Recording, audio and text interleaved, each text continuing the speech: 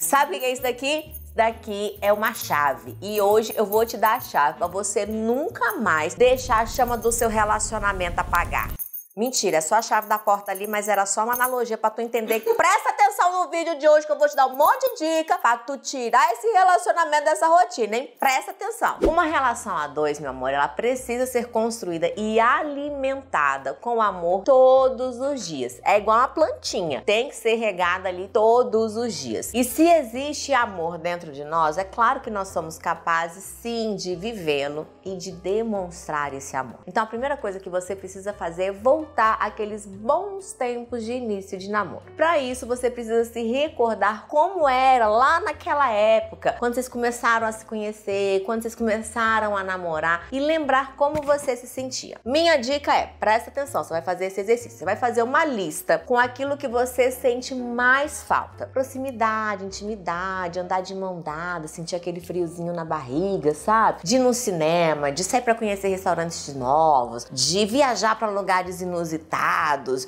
de beijar na boca, né? Eita, como era bom beijar na boca, né, minha gente? Aqueles beijos que não tinha tempo para acabar, não é verdade? Então essa é a primeira lista que você vai fazer. A segunda lista que você vai fazer é de todas as coisas que mudaram no seu relacionamento de lá para cá, do início até agora. O quanto que mudou e por que que mudou. Mas ó, não se esquece de colocar nessa lista aí também as coisas boas que mudaram para melhor, né? Porque sempre tem coisa que muda para melhor. Não é para ficar fazendo um exercício só para ficar reclamando, resmungando, piorou. Não, porque se vocês estão juntos é porque muitas coisas melhoraram e essas coisas também precisam entrar nessa lista. E aí você vai fazer uma terceira lista. É a última, juro juradinho que é a última, tá? Eu quero que você coloque num papel todos os motivos que te fizeram se apaixonar apaixonar pelo seu parceiro lá atrás e os motivos que hoje te fazem se sentir apaixonada por ele. Então, com essas três listas aí, você vai ser capaz de conseguir ter consciência de novo de todas as coisas boas que essa pessoa tem a oferecer. Por exemplo, tu coloca aí na lista, minha filha, que eu tenho certeza que a gente esquece, que a hora do namorinho, a hora da nhanhação, hoje em dia é muito melhor do que quando você tá conhecendo a pessoa. Por quê? Porque a pessoa já sabe como é que faz um chups bacana, onde é que pega, com que intensidade. Pô, leva isso daí em consideração também, minha filha. Não é só pra descascar e lascar o cara todinho na lista aí, não. Mas muito bem. De posse dessas três listas aí, então, agora sim a gente vai para as dicas práticas de como recuperar aí esse clima de início de namoro. Primeira coisa, tem que cuidar do visual. É isso mesmo. Deixa eu te falar. Não é por conta do outro, não é pro outro, é para você mesma, é pra gente mesmo poder passar dentro de casa e ver quando sua casa tiver um monte de espelho, um espelho aqui, um espelho aqui. Você vê uma imagem bonita de você mesma refletida no espelho, né? Se olhar e falar, puta que pariu, toda natural, gostosa pra caramba.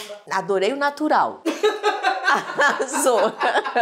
Mas sabe por quê? Quando a gente começava a namorar, tu ia sair com o boy, aí você experimentava um monte de roupa, manda foto pra amiga, manda mensagem, tira foto de uma, tira foto de outra, compara, pensa no lugar onde é que você vai, pensa se fica mais fácil de arrancar, de tirar, de botar, de subir, de suspender. Aí quando a gente tá começando a namorar, tem essa preocupação. Aí você já tá dentro de um relacionamento, aí não, pardinho inteiro dentro de casa, aquela blusa de político, então aquele abadá de 1987, quando a Ivete ainda cantava na banda Eva ainda, pelo amor de Deus, minha gente. Aquelas calcinhas que eu vou te falar, não era nem pra tu ter na sua casa. E aqueles trem ofobozento, cheia de bolinha descosturando, cheia de furo. Pelo amor de Deus, minha filha. Eu falo, é o kit suicídio. O que é o kit suicídio? Blusa de político, calcinha bege e crocs. Se mata, minha filha.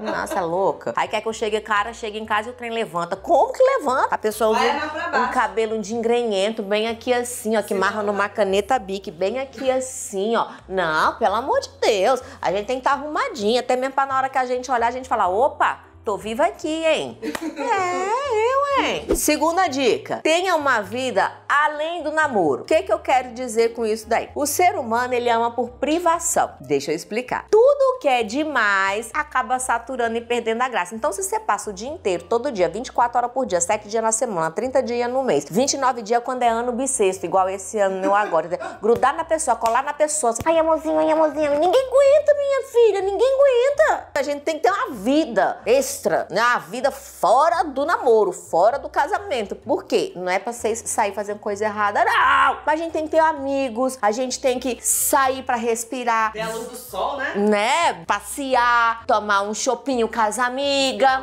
um suco. Mas tem que ter esse momento amizade. Pra quê? Pra na hora que a gente voltar pra casa, a pessoa lembrar, poxa, e senti saudade sua hoje. Poxa, não sou a única pessoa da sua vida. Opa, deixa eu dar uma cuidada aqui também, não é verdade? Não, a gente tem que ter esses momentos. Até mesmo pra gente lembrar que a gente é um ser humano, é um indivíduo. Não é porque a gente estamos numa relação que a gente e se tornaram dois, uma só carne. Não existe isso não. A gente é duas carnes que moram no mesmo tetinho ali. Então a gente tem que continuar cuidando da nossa individualidade. Isso é importante para a saúde do relacionamento tá bom? Mais uma chave para você botar no seu molde de chave aí, hein? Presta atenção. Demonstre independentemente se ele já sabe ou não. Explico. Não é porque vocês já estão juntos há um tempão aí que ele ainda lembra o tanto que é que você ama ele ou sente falta dele, ou não é porque você tá ali do lado dele o dia todo, que todo dia ele sabe que você ama ele, que ele se sente amado. Não, a gente precisa o quê? Falar pra pessoa, demonstrar pra pessoa através de gesto, através de bilhetinho, através de um cuidado através de uma mensagem no